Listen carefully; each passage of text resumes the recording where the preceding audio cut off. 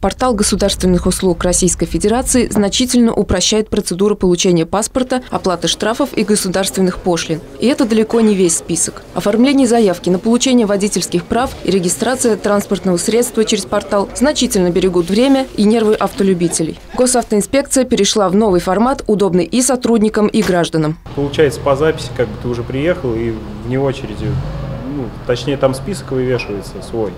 И вот в соответствии с этим списком уже ты проходишь техосмотр. Чтобы воспользоваться всеми муниципальными услугами, необходимо зарегистрироваться на сайте в личном кабинете. Для входа понадобится логин и пароль, полученный при регистрации. Также можно использовать СНИЛС и электронную подпись. В самой же госавтоинспекции в специальном автомате можно получить талон с номером, подойти к указанному времени и воспользоваться услугой. С помощью такой системы можно сэкономить не только время, но и деньги.